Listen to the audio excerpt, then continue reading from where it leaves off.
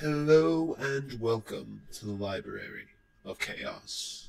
Today we will be opening up the world of Teller's Tales once again and taking a look at the story of Icewind Dale. Icewind Dale in, is a very large, very complex story, but there may not be time in between all of the story beats for these characters to be properly introduced and spoken about.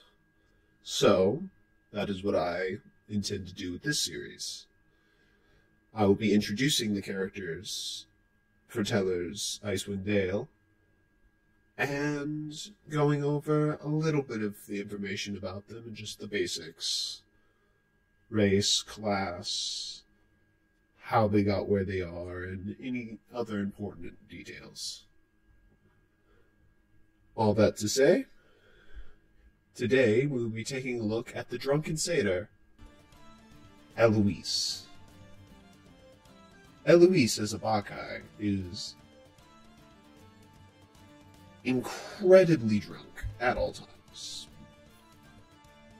and serves the festival god Dionysus. First and foremost, any of her her motivations or where she goes throughout the story will likely be influenced by that fact.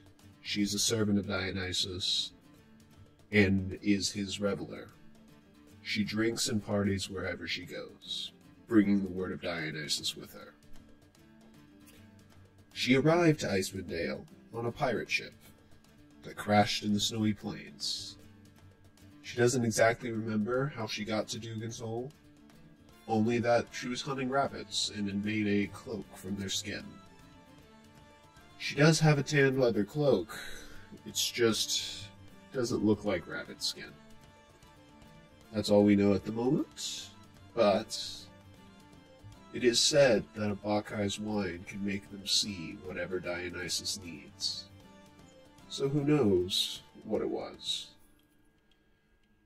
She is also a great fighter and talker, but she is not exactly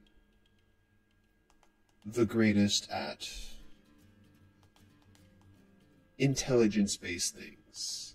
This is to be expected as she is what mechanically is a level 2 dex build barbarian. Charisma and dex are her main two stats. As a satyr, she has a couple things that help with that, such as magic resistance, and a couple things like that. Also, major detail that anyone would notice seeing her, she is very pregnant, which is an odd thing to see. Also, she is completely unprepared for the winter in a Bacchae's garb of furs and fig leaves. Beyond that, not much is known about her, and not much is pertinent to the story, as she's one of the easier characters to explain. I will continue to look at some of the more complex characters as we continue on. But for now, I've been your curator and your guide. Farewell until next time from the Library of Chaos.